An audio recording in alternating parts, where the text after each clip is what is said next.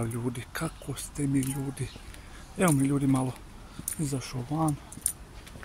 Pa eto, nadam se da uživate, ljudi moji. Eto, nije danas bilo samo dva videa, jer rekao sam kad izađem van poslije 6, 6 15, 20, ne bi kasnije pola 7, da ću tek tada u buduće snimati dok, dok je ljeto naravno.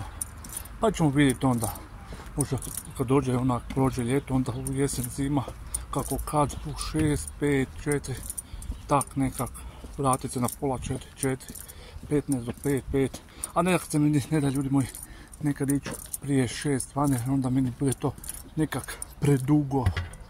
Pa tak da eto, ja vas sve pozdravljam ljudi moji, želim vam svako dobro.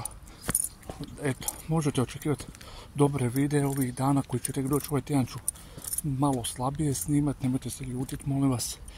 Ću sutra i za neke obaveze subotu, a onda od nedjelje sigurno možda desetak videa danas tak vraćamo se na staro. Hvala vam na razumijevanju ljudi moji, nek vas Bog čuva, majka Bože vas i vaše obitelji sve. Svima vam želim svako dobro, pa se mi ljudi gledamo u idućim videima. Pozdrav ljudi.